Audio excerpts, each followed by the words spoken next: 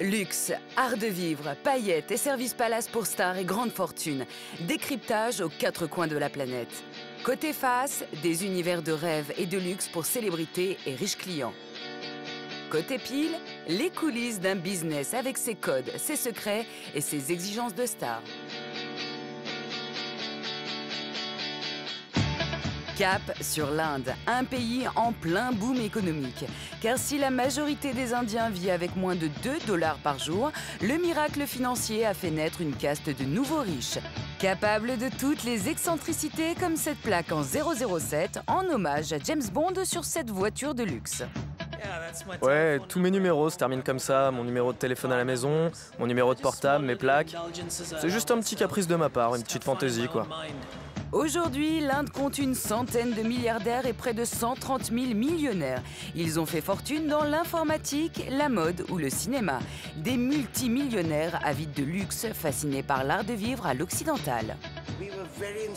En fait, nous avons vraiment été inspirés par les grandes maisons de la gastronomie française. Nous voulions quelque chose de vraiment très similaire à ce que vous avez à Paris. Palais légendaire, chef étoilé, haute couture et magasins d'exception. Pour répondre aux exigences de ces nouveaux Maharajas et briller aux yeux du monde, l'Inde est devenu le royaume de la démesure, une destination prisée par les stars. On a des hommes politiques, on a des acteurs, on a beaucoup d'acteurs indiens. Euh, euh, on a eu Kate Winslet, on a des, gens comme ça, on a la, fille de Margaret d'Angleterre, euh, on a pas mal de gens qui viennent. Plongez dans l'univers des célébrités des milliardaires, mais aussi de ceux qui sont à leur service. Un monde hors norme où tous les rêves sont permis, à condition d'être une star.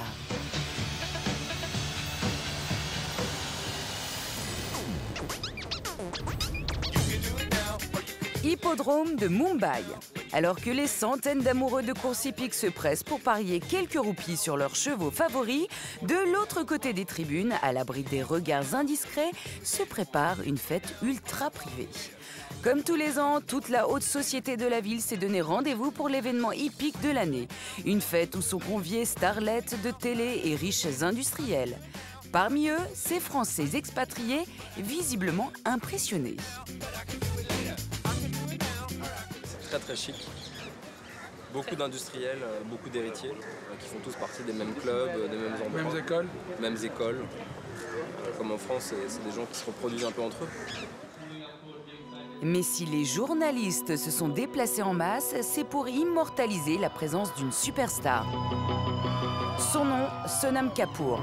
En 4 ans, elle s'est imposée comme la plus glamour des actrices du cinéma indien.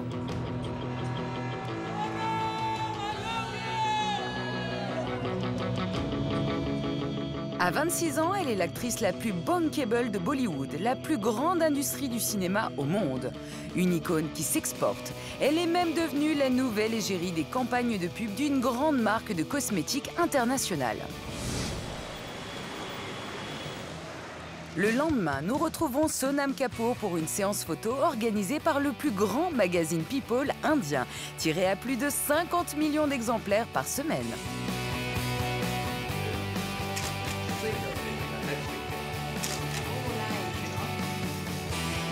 Une boutique de luxe réservée pour l'occasion. Un des plus grands photographes indiens, une dizaine de techniciens, le magazine a sorti les grands moyens pour honorer la star, qui ne se déplace jamais sans ses trois assistants personnels. Ici, les acteurs sont traités comme des dieux, et pour cause. Loin devant Hollywood, le cinéma indien génère 40 milliards d'euros de chiffre d'affaires par an. Sonam Kapoor va faire la couverture du magazine et c'est à elle que revient le choix final de la photo.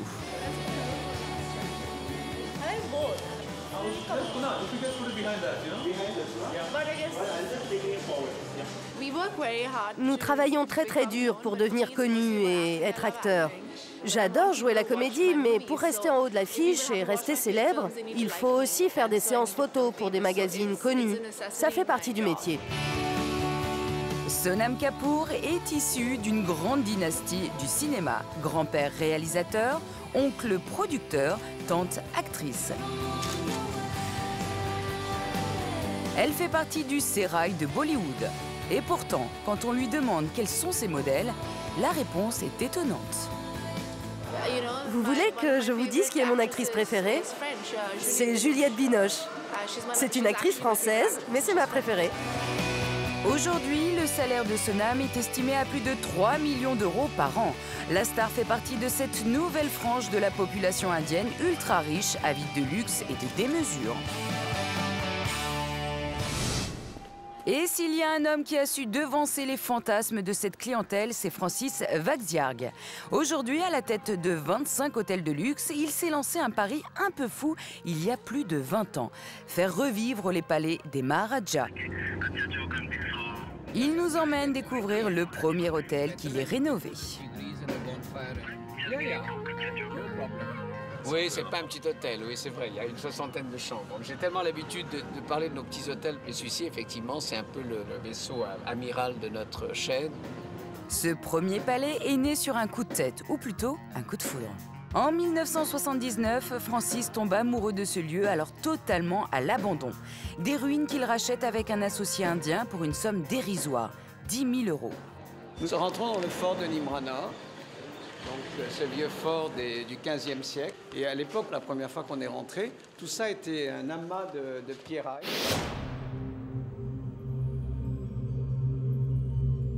Il fallait euh, enjamber tout ça, baisser la tête sous ce porche et rentrer euh, de l'autre côté pour arriver au fort. Puisque toute la façade s'était effondrée. On a, on a dû redresser la façade complètement. Six ans de travaux, 13 millions et demi d'euros. Un investissement colossal pour redonner au lieu la splendeur du temps du Maharaja. La porte était intacte, on l'a laissée telle qu'elle avec le, reste des fresques qu'il y avait. Mais tout ça s'était effondré. Euh, ici aussi, le mur d'enceinte n'existait pratiquement plus. ici, c'est un grand endroit parce que c'est l'endroit où on voit le coucher du soleil. Partie ancienne du fort, elle s'arrêtait ici à ce, mur d'enceinte. Tout ce que vous voyez là, ça a été construit euh, ces dernières années par nous. On a agrandi le fort, on est sorti des, murailles, on a construit la piscine, une première piscine, une seconde piscine, un certain nombre de jardins, euh, des salons et puis beaucoup de chambres. Au fil du temps, le rêve de Francis a pris forme. 55 chambres toutes différentes, du mobilier d'époque, 7 suites de luxe. Ça correspondait à un besoin, si vous voulez. Les gens avaient envie de, voir ce qu'était ce qu'était l'Inde authentique et pas l'Inde des 5 étoiles euh, qui est standardisée, euh, aseptisée, etc. Et ça, vous êtes vraiment dans l'Inde traditionnelle. Et je crois que ça, c'est une chose que les gens recherchent. Entrepreneur, Francis n'assure pas la gestion de ses hôtels au quotidien. Il n'y vient qu'une ou deux fois par mois. Bonjour, comment allez-vous? Qui se marie ici? Un réceptionniste qui se marie, un arrêt maladie, des problèmes personnels, un brin paternaliste, Francis prend des nouvelles de chacun. Depuis combien de temps travaillez-vous avec nous? Six mois, non? Non, un an. Il va partir en congé.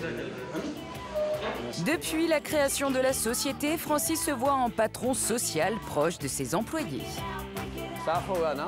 Là, là, vous êtes dans l'antre, sous les ordres de Namasté, sous les ordres de ce chef, Ashok. Hein? Plus qu'une posture, une fidélité à ses idéaux politiques qui l'ont conduit en Inde il y a plus de 40 ans. Je suis venu en Inde pour étudier les mouvements de gauche. Donc j'étais assez impliqué dans les mouvements de gauche dans la foulée de mai 68. Et euh, pour moi, ça a été une révélation. J'ai adoré ce pays euh, à la descente de l'avion. Euh, je crois que tout était joué. Et puis après, ben, je suis resté en Inde comme banquier. Donc j'ai un peu abandonné mes, mes, ma passion pour, le, pour la politique. Et je suis devenu d'abord diplomate, ensuite banquier, un peu loin de, de ce qui m'avait amené en Inde la première fois. Ce soir, Francis a organisé un concert de musique classique dans l'amphithéâtre du Palais. Nous sommes vraiment très très heureux d'accueillir un très grand orchestre de France. Ils viennent de Rouen.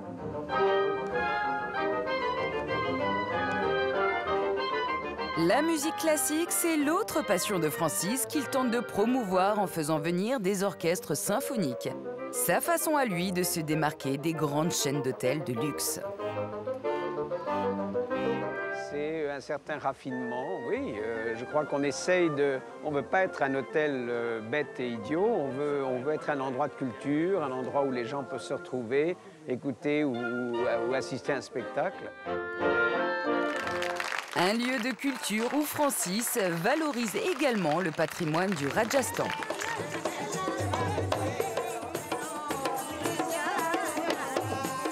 La soirée se poursuit avec un groupe traditionnel qu'il a fait venir tout spécialement pour accompagner le dîner.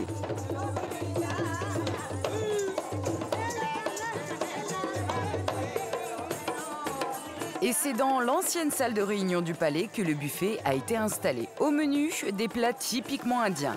De quoi se prendre le temps d'une soirée pour un Maharaja.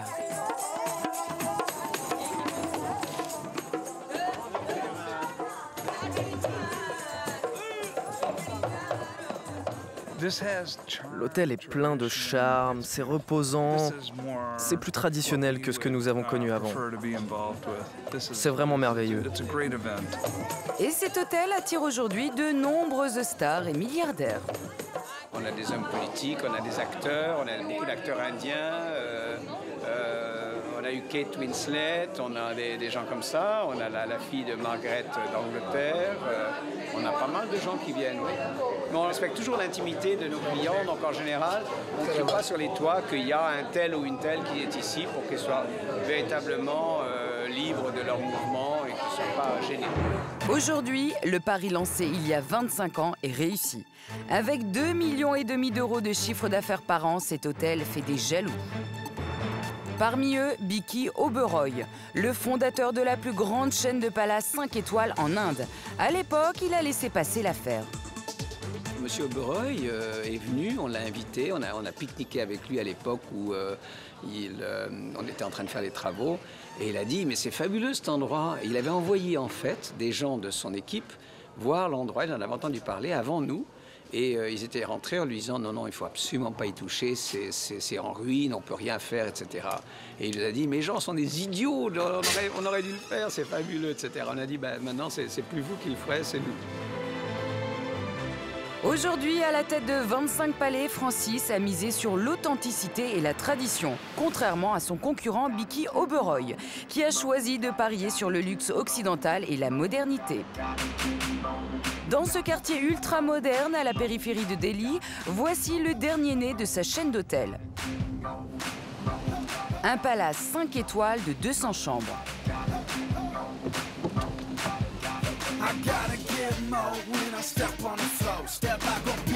À l'intérieur, salon sur l'eau, design futuriste, personnel aux petits soins et des œuvres d'art hors de prix. Tous les attributs d'un palace parisien.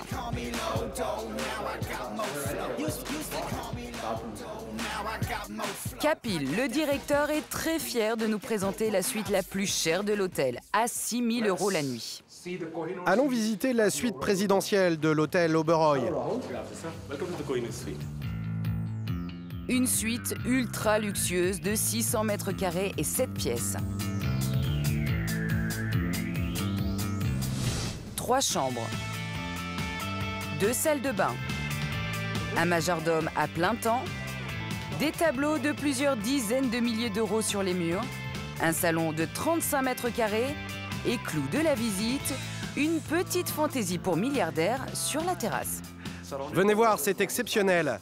Une piscine de 23 mètres de long qui fait toute la surface de la terrasse. Tom Cruise, Nicole Kidman ou encore Adriana Carambeu ont déjà pu profiter de cette piscine et de tous les avantages de cette suite. En particulier de son mini-bar où il serait vain de chercher une mignonnette.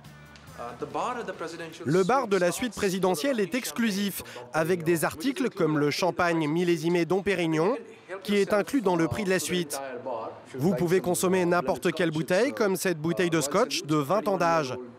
Ou pourquoi ne pas commander une bouteille de Château Haut-Briand de 1994 Et combien ça coûte ça? Une bouteille coûte environ 1600 euros.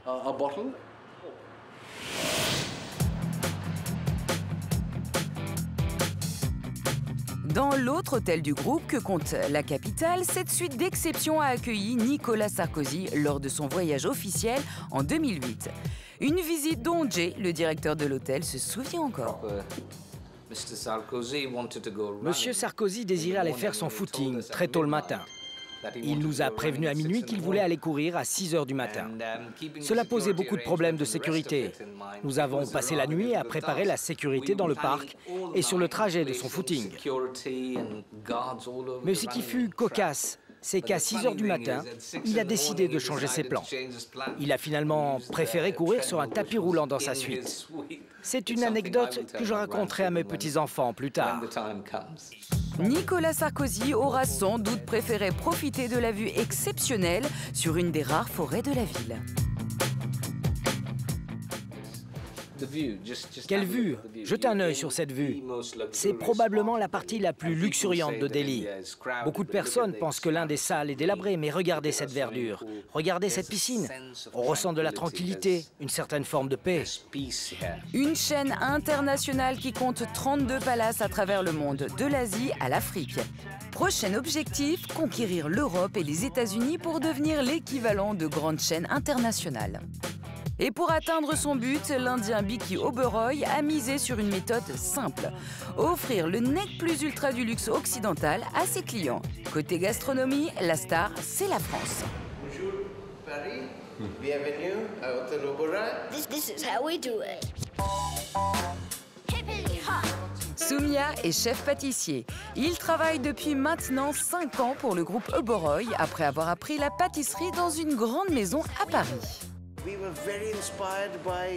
En fait, nous avons vraiment été inspirés par les grandes maisons de la gastronomie française. Nous voulions quelque chose de vraiment très similaire à ce que vous avez à Paris. Ici, au milieu des baguettes à la française vendues 7 euros et les pièces montées à 400 euros, se cachent les produits dont Soumia est le plus fier. Des gâteaux en forme de chaussures et de sacs à main. Un travail d'orfèvre de plusieurs heures et un best-seller qui s'arrache comme des petits pains malgré leur prix exorbitant. Beaucoup de femmes veulent avoir ce gâteau en chocolat et c'est pour ça que nous le faisons. Un gâteau comme ceci coûte environ 200 euros. Cet endroit est le lieu à la mode à Delhi. Il n'y a absolument rien de comparable dans toute l'Inde. Et merci à la France, nous avons tout appris des Français, et ceci est une petite part de la tradition française à Delhi.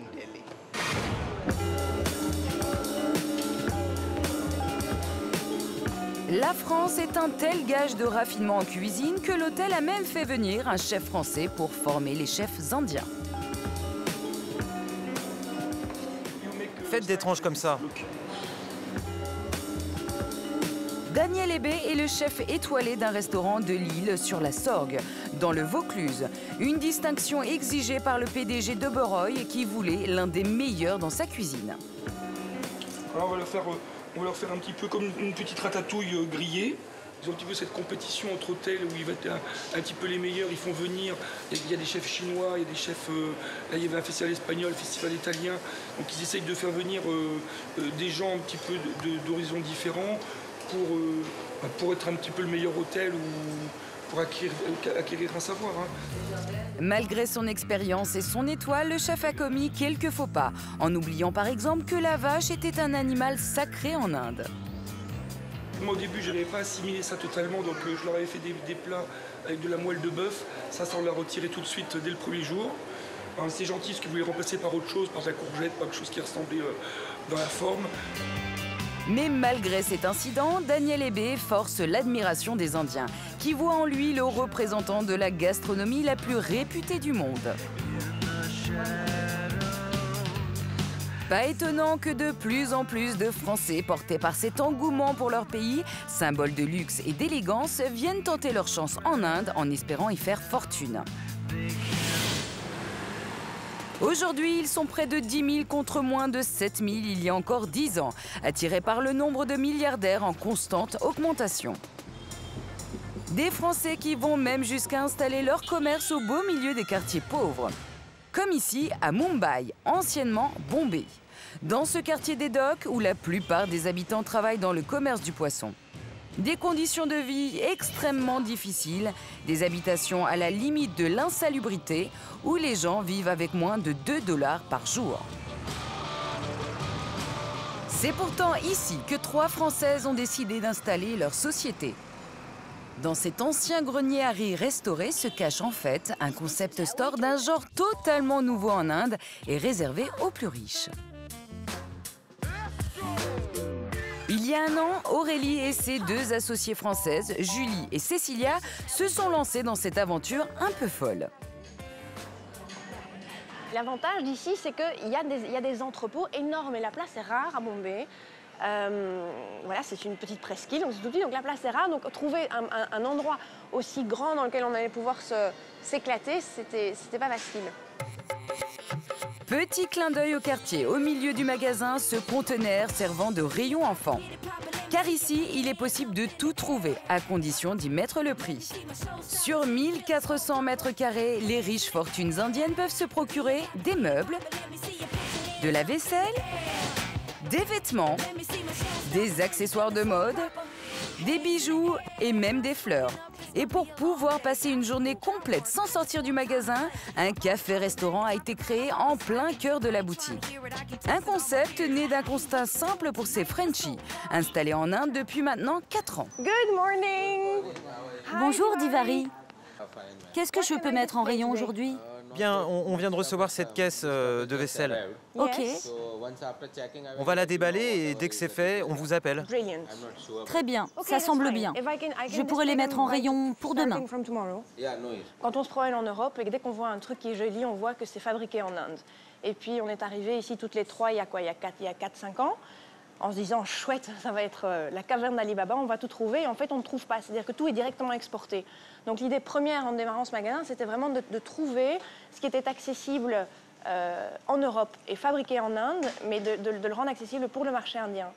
Avec cette esthétique, donc du coup, de trouver des choses faites en Inde, mais avec cette esthétique un petit peu plus européenne, un peu, plus, euh, un peu moins ornementée, un peu plus simple. Mais pour réussir à importer ce concept bourgeois bohème en Inde, Aurélie et ses associés ont savamment mélangé le savoir-faire indien au chic et au luxe recherché par leur clientèle. Ici, on retrouve les bijoux de Jade Jagger, la fille de Mick Jagger, ou encore des vêtements d'un créateur adopté par de nombreuses stars comme Sarah Jessica Parker, l'héroïne de Sex and the City, et l'actrice Leighton Mister, qui joue notamment dans Gossip Girl. Et pour le moment, ça marche. Cette boutique a réussi à attirer les riches de Mumbai dans ce quartier des docks. C'est le cas de cette cliente, une de ces nouvelles fortunes indiennes. Elle vient 3 à 4 fois par mois pour dépenser des fortunes. Aujourd'hui, elle est venue dénicher quelques cadeaux pour l'anniversaire d'une amie. À chaque fois que je viens ici, je trouve mon bonheur. Je ne veux pas aller dans d'autres boutiques à Mumbai. C'est peut-être un peu loin de chez moi, mais à chaque fois que je viens, je sais que je trouverai quelque chose d'original. La jeune femme a flashé sur ce bracelet à 250 euros. J'aime vraiment beaucoup ce bracelet. Je n'en ai pas vraiment besoin, mais bon, je l'aime vraiment. Mais peut-être plus pour moi que pour mon ami. En moyenne, je dépense entre 500 euh, et 700 euros à chaque fois. Cette riche cliente aura au final dépensé près de 1000 euros, soit 10 fois le salaire mensuel moyen d'un Indien. Le marché du luxe en Inde est en plein boom. Aujourd'hui, il représente près de 5 milliards de dollars grâce entre autres aux 130 000 millionnaires que compte le pays. Devita Saraf est l'une des plus jeunes entrepreneuses, classée parmi les 25 femmes les plus influentes d'Inde. À la tête d'une société de télévision haut de gamme, elle vient aujourd'hui inspecter l'une de ses boutiques. En six ans, sa société s'est imposée comme l'un des leaders du marché, avec un chiffre d'affaires de 60 millions d'euros. Vous avez eu beaucoup de commandes depuis la dernière fois Oui, j'en ai eu 55. 55 Et qui est le plus gros client C'est Monsieur Raki. Ici, les télés sont bourrées de gadgets pour milliardaires, comme ce grand écran à 4500 euros qui fait aussi visiophone. Mais même à ce prix, encore faut-il pouvoir la faire fonctionner. Son interlocutrice ne décroche pas. Alors c'est à l'ancienne que Devita tente de régler la situation. Oui, appuie sur le bouton là, celui qui est à gauche. Non mais j'essaie, mais je ne comprends pas pourquoi ça ne marche pas. À chaque fois qu'on doit faire une démonstration, c'est la même chose, ça ne marche jamais. Au bout d'une demi-heure, son interlocutrice apparaît enfin sur l'écran et Devita recommence sa démonstration. Nous avons investi 11 millions de dollars et il nous a fallu deux ans pour développer cette technologie. L'année dernière, nos produits ont représenté 5% des ventes de télé dans le monde. Mais c'est à l'autre bout de la boutique que se trouve la télévision la plus chère. Un bijou de technologie vendu 6 000 euros. Comme vous pouvez le voir, j'utilise cet objet comme un stylo. Mais ce n'est pas vraiment un stylo, en fait, c'est un stylet pour écrire sur la télévision. En fait, ce que les Indiens aiment dans les produits de luxe, c'est la personnalisation. Vous voyez, avec ce type de télé, vous pouvez choisir toutes les options que vous voulez. Le volume de la carte mémoire, le disque dur, la taille, la couleur, tout ce que vous voulez. Vous voyez ça C'est une télévision qui se vend très bien. C'est comme un cadre de tableau où vous pouvez incruster des images. C'est ça le vrai luxe, avoir un objet sur mesure et unique au monde. Et si Devita sait mieux que personne ce qui plaît aux riches, c'est qu'elle a été à bonne école. À 30 ans, elle est propriétaire d'un appartement de 200 mètres carrés avec une terrasse panoramique dans le quartier le plus huppé de Mumbai, où le mètre carré se négocie à 12 000 euros. Voici l'objet le plus précieux à mes yeux. C'est une photo de ma famille avec mon frère et mon père. C'est grâce à son père, PDG du fabricant d'ordinateurs, numéro 2 en Inde, que la jeune femme s'est lancée dans les affaires. Dans ce pays, quand on réussit, on part rarement de rien. Devita est une héritière qui profite des privilèges de sa caste. Une garde-robe qui n'a rien à envier à celle de Paris Hilton, avec cette dernière acquisition, un sari d'une grande marque française. Regardez, c'est magnifique. Une fois que vos yeux se posent dessus, il vous le faut à tout prix. Installée en Inde depuis six mois, la marque a lancé début janvier une collection de 28 saris de luxe proposée à plus de 6 000 euros. Un must-have que Devita s'est empressé d'acquérir. Ils sont tous différents. Celui-là est le seul comme ça. C'est une pièce unique. Et c'est vraiment ce qui me plaît, d'avoir un produit en édition limitée. Parce que finalement, la rareté, c'est le comble du luxe. À l'instar de cette marque prestigieuse, d'autres maisons de luxe pensent s'implanter prochainement dans le pays. Car la haute couture y est en plein essor et pas seulement pour les créateurs français. Dans le vieux Mumbai, cette boutique colorée est l'antre du styliste à la mode. À 38 ans, Sabia Sachi est le créateur préféré des stars. Toutes les actrices de Bollywood font appel à lui, comme Rani Mukherjee et Vidya Balan. Un style quand même un peu chargé et très coloré. Cette robe est inspirée du maillot de bain de Marilyn Monroe dans le style des pin-up des années 50. C'est un petit top que vous pouvez porter avec un jean serré. Voici un gilet vintage, totalement brodé à la main. Un magnifique serre-tête, comme ceux de Frida Kahlo. Je suis obsédé par l'artiste mexicaine. Un Christian Lacroix version indienne, dont l'aura ne cesse de grandir. Lors du dernier festival de Cannes, Sabia Sachi a même monté les marches pour la présentation d'un documentaire sur Bollywood. Preuve de son succès, les clientes se pressent dans son magasin comme ces deux Américaines. Oh mon Dieu, c'est la veste Elle est vraiment incroyable. Vous savez comment on a brûlé ça? Avec une bougie? Non, avec de l'encens. Ah bon? Uniquement de l'encens. Une anecdote qui semble tout à coup donner à sa robe un parfum de légende. Peut-être qu'on devrait acheter les deux tenues La femme la plus intéressante du magasin. Ah là, comme ça, je me sens indienne. Je suis vraiment tombée amoureuse de l'Inde, des Indiens. C'est une indienne qui s'est décoloré la peau et les cheveux. Cet homme est tellement incroyable. Quand vous portez des robes comme les siennes, vous vous sentez comme une femme de Maharaja. Cet homme est béni des dieux. Et Caroline n'est pas la seule subjuguée par le créateur. La veille, Sabia Sachi a reçu la visite d'une cliente prestigieuse, Oprah Winfrey, la star milliardaire de la télé américaine. Elle a acheté beaucoup de vêtements conçus avec du tissu bio, beaucoup d'accessoires, beaucoup de bijoux et de sacs à main. Ce qui est le plus important, c'est qu'elle a trouvé que les produits étaient fantastiques et j'en suis très fier. De visite en Inde pendant quelques jours, Oprah Winfrey a reçu un accueil digne de celui d'un chef d'État. Sabia Sachi en est encore tout retourné. C'est l'une des personnes les plus lumineuses que j'ai rencontrées. Elle a une telle énergie, elle est incroyable.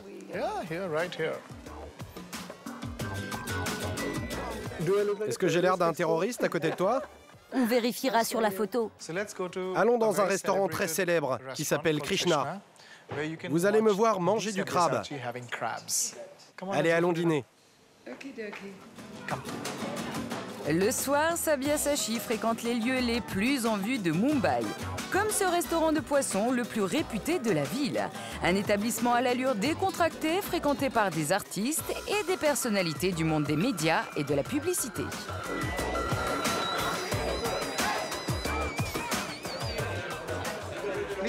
Il va me mordre. Ou il dort Il a l'air très en colère. Grâce à sa notoriété grandissante auprès d'une clientèle cosmopolite, Sabia Sachi espère avoir bientôt l'honneur d'habiller une actrice française. Pour moi, l'une des femmes françaises les plus belles, c'est Charlotte Gainsbourg. Je l'aime parce qu'elle est relaxe, elle est simple, elle est très sûre d'elle.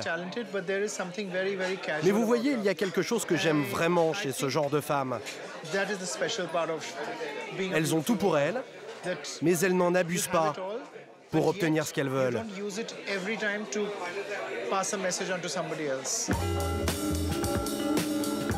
Mais si Sabia Sachi envisage même de vendre sa marque en France, sa vie est ici, à Mumbai, une ville où désormais tous les rêves paraissent possibles. Bombay est comme New York. C'est une ville d'anonymes. Il y a des gens du monde entier, plein de personnes qui viennent dans cette ville pour réussir, devenir acteurs ou pour réussir dans les affaires. Ils veulent avoir une vie agréable et espèrent avoir une carrière importante. Mumbai, un nouvel Eldorado pour des entrepreneurs ambitieux prêts à risquer gros pour devenir les grandes fortunes de demain. Anupam Mittal a 38 ans. Il est devenu multimillionnaire en fondant un site de rencontres sur Internet. De quoi se payer quelques caprices. Comme cette voiture de sport à 120 000 euros. De mon point de vue, c'est une des plus belles voitures que Mercedes ait sortie. Je l'ai fait venir d'Allemagne il y a quelques années je la prends uniquement le week-end. Parce que vous savez, ici, la circulation est vraiment complètement dingue. La conduire en ville, c'est impossible, à moins de vouloir la rayer. Petite fantaisie pour ce fan de James Bond, sa plaque d'immatriculation, qui se termine en 007. Ouais, tous mes numéros se terminent comme ça, mon téléphone à la maison, mon portable, mes numéros de plaque. C'est un petit caprice de ma part, une petite fantaisie quoi. Rien de bien extravagant. C'est ici que le jeune millionnaire habite depuis maintenant 7 ans. Un appartement de 160 mètres carrés au dernier étage, dont la valeur approche les 3 millions d'euros. Une décoration sobre, mais dans le plus pur style indien. Un salon de 25 mètres carrés, des œuvres d'art hors de prix et deux domestiques 24 heures sur 24. Et voilà mes deux employés. En fait, ils sont là avec moi depuis que j'ai acheté la maison, ils cuisinent pour moi, ils font le ménage, ils font vraiment tout. C'est comme mes frères et je suis vraiment béni de les avoir. Ultime privilège, une terrasse de 40 mètres carrés dominant toute la ville. En gros, c'est ici que je passe la plupart de mon temps, car vous savez, avoir une vue dégagée à Mumbai, c'est une vraie chance. Ce quartier, c'est l'un des plus chers de la ville. Dans le voisinage, il y a des gens très riches, il y a vraiment des gens célèbres. Par exemple, vous avez Monsieur Ambani, qui habite juste là, derrière cet immeuble.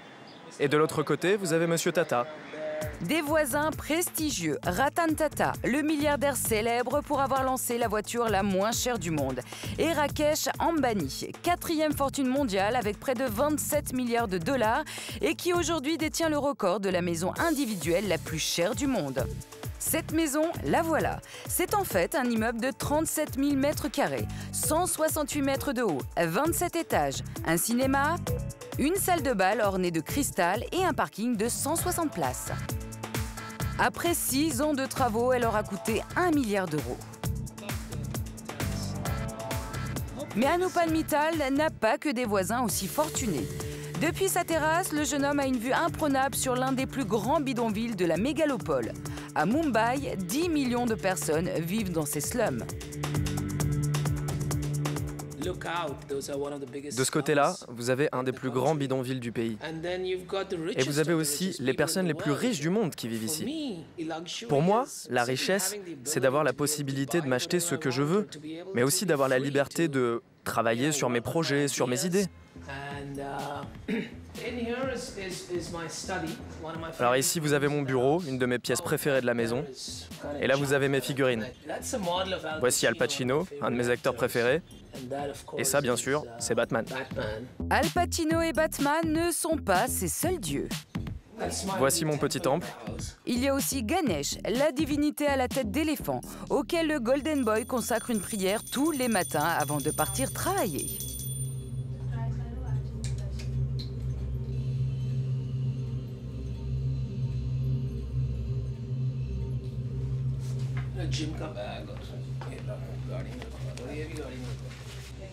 Pour le business? Non, je ne demande rien de ce genre. Je, je ne demande rien en particulier. Pour moi, c'est plus en rapport à la famille, à la santé, au travail, mais sans rien demander. Juste de pouvoir faire la différence entre ce qui est bien et ce qui est mal. Pour aller à son bureau, Anupan se place sous la protection de son chauffeur et bien sûr de James Bond, l'agent 007. C'est au fond de cette impasse que le jeune homme a installé sa société. Aujourd'hui, il règne en maître sur les e-rencontres. Né il y a 15 ans, son site est devenu le premier site pour célibataires au monde, avec 30 millions d'abonnés et 800 000 mariages, 10 fois plus que son équivalent français. Un site de rencontre à la sauce curry qui a profité de l'évolution de la société indienne, devenue beaucoup plus libérale. Le milieu des années 90 a été une période où les médias ont explosé en Inde. Beaucoup de nouvelles chaînes de télévision sont créées et la société a été très influencée par de nouvelles conceptions venues de l'Occident. Le modèle familial a commencé à se désagréger, il y a eu beaucoup plus de familles recomposées alors du coup, les traditions ont été bousculées. Les façons habituelles de se rencontrer grâce à l'aide d'un entremetteur ou du réseau familial sont devenues marginales. Les jeunes ont voulu devenir acteurs de la décision la plus importante de leur vie, rencontrer leur futur mari ou femme. Aujourd'hui, la société affiche un chiffre d'affaires de 40 millions d'euros par an. Un succès qui doit beaucoup au flair et à l'audace de ce Zuckerberg indien. Lorsqu'il se lance, il veut à tout prix appeler son site Shadi, mariage en hindi. Mais problème, le nom est déjà déposé. La personne qui détenait le nom de domaine nous a demandé 24 ou 25 000 euros pour nous le céder. Vous savez, à ce moment-là, c'est tout ce que nous avions en banque. Mais j'avais l'intuition que nous devions racheter ce nom. Donc nous lui avons tout donné. À cette époque, cela paraissait complètement fou et beaucoup de gens, dont des amis, m'ont dit que j'étais devenu dingue d'avoir dépensé autant d'argent. Un pari réussi. Sa fortune personnelle est estimée aujourd'hui à près de 20 millions d'euros. Le plus grand marieur d'Inde est encore célibataire, car pour l'instant, il ne semble préoccupé que par les affaires. Sa dernière lubie, ouvrir une chaîne de café branchée à Mumbai. Il vient se rendre compte de l'avancée des travaux dans le premier établissement. Euh, Jérémy, t'enfuis pas, t'as peur des caméras ou quoi Pour mener à bien ce projet, il s'est associé avec Jérémy, un Belge installé en Inde depuis 5 ans. Je sens que ce lieu va faire un carton. Anoupam, je te fais déguster ça Oui, bien sûr. Ça vient d'où? D'Allemagne? Allez, à ta santé. Tu aimes Ouais, c'est super. Anoupam n'est pas venu depuis 10 jours. Jérémy lui fait goûter les vins et les plats qui seront sur le menu. Ah, c'est vraiment bon, hein Vous savez, ce n'est pas ce genre de gros investissements qui demandent beaucoup d'analyse financière, du temps, des négociations. C'est plus instinctif. Et quand on est dans le créneau de l'hospitalité et de la création, il faut suivre sa passion et son cœur plus qu'autre chose. C'est dans une ancienne usine de fabrication de lait qu'ils ont décidé d'ouvrir ce café. Pour devenir le prochain endroit à la mode, ils ont cassé les codes un peu kitsch de la décoration indienne en misant sur une atmosphère dépouillée et intimiste. La télévision et la machine à écrire, tu les as trouvées où? Dans une brocante Dernière trouvaille, cette vieille télévision et cette machine à écrire au charme vintage. Cette télévision et cette machine à écrire, ça ajoute tellement de caractère à ce lieu, ça le rend plus chaleureux. Ça crée une sorte de lien avec le restaurant et ça va donner envie aux clients de dépenser encore plus d'argent ici. Je ne veux pas dépenser mon argent, je veux un retour sur investissement. Exactement. C'est un concept très européen. Il n'y en a pas beaucoup comme ça à Bombay. Vous savez, Bombay s'est ouvert à beaucoup de nouvelles choses ces dernières années, parce que les gens voyagent de plus en plus dans le monde. Ils sont aussi influencés par Internet. Du coup, il y a de plus en plus d'aspiration au changement. Ce charme occidental est devenu le comble de l'exotisme pour les Indiens qui sont prêts à dépenser des sommes folles. Adrien de Montalembert s'est spécialisé dans l'import de produits d'épicerie haut de gamme. Aujourd'hui, ce Français se rend dans cette boutique de Delhi, un traiteur très sélect qui distribue ses articles.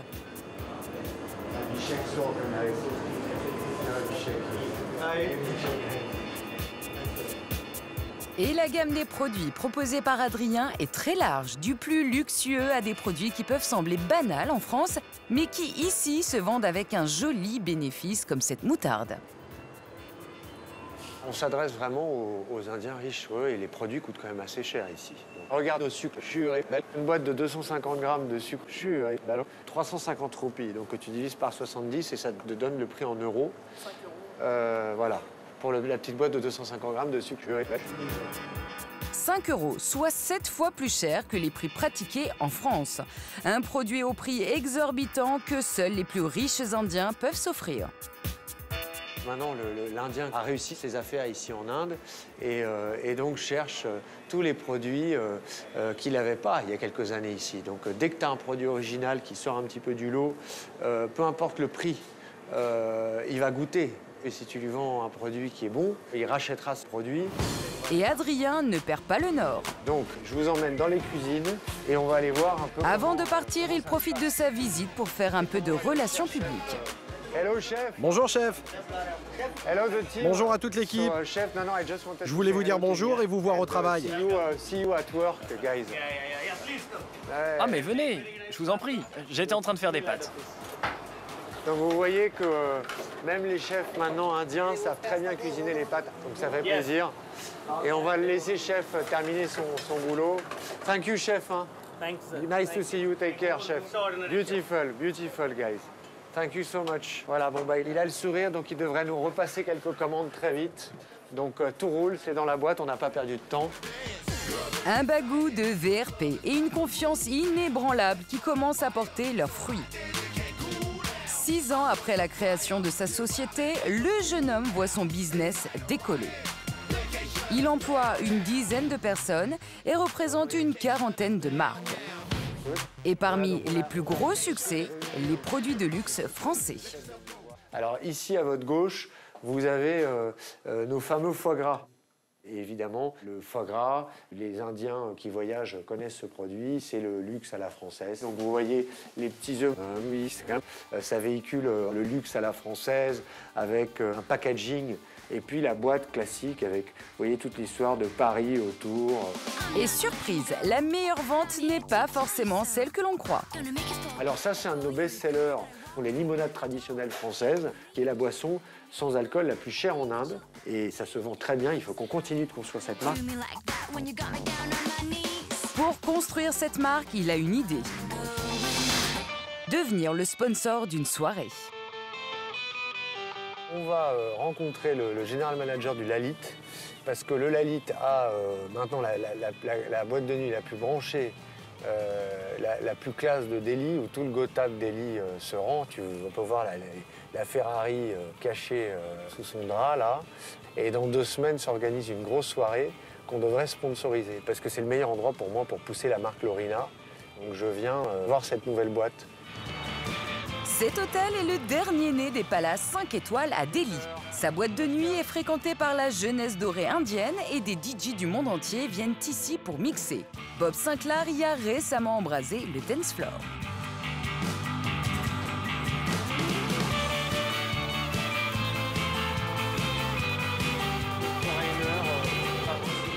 Dans le hall, alors qu'Adrien discute avec le directeur, la propriétaire du groupe fait une entrée remarquée. Ça, c'est sacrément surveillé. Sous étroite surveillance, car cette femme est à la tête d'une centaine d'hôtels de luxe et pèse près de 300 millions d'euros. C'est une femme très influente dans l'industrie de tout ce qui est hospitality business. C'est la plus influente. Donc elle est accompagnée par euh, toujours des gardes du corps une grosse voiture blindée, dernier modèle. Direction la boîte de nuit. Adrien doit décider si oui ou non il va sponsoriser une future soirée avec sa marque de limonade. Là, c'est le salon champagne qui fait partie du club. Suivez-moi.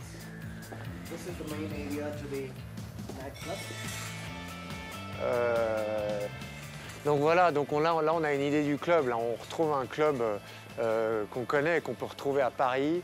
Euh, euh, les enceintes sont juste hallucinantes. Je crois qu'il s'est payé le dernier cri des enceintes. C'est pour ça que tous les grands DJ viennent mixer ici. Effectivement, il y en a pour plus de 200 000 euros de matériel. C'est un très gros investissement. Rien n'est trop cher pour séduire la jeunesse dorée indienne qui s'est profiter des fortunes amassées par leurs parents.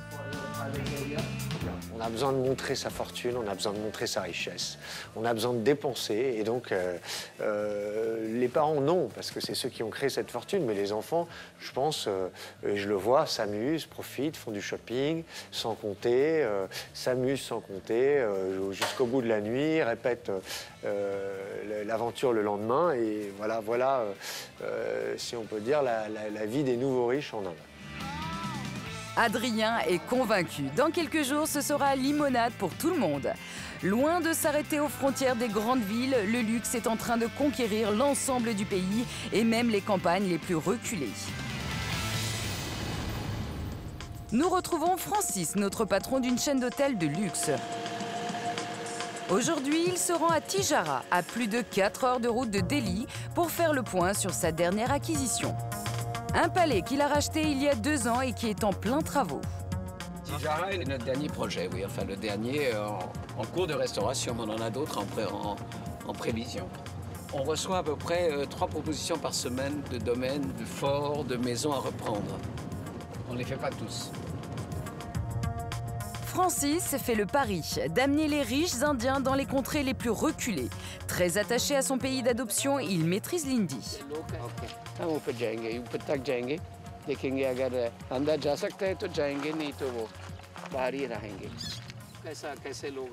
Le palais n'est plus très loin, on le devine en haut de cette colline. Voilà, nous arrivons au fort de Tijara qui est en cours de restauration. À son arrivée, Francis est accueilli par le chef de chantier.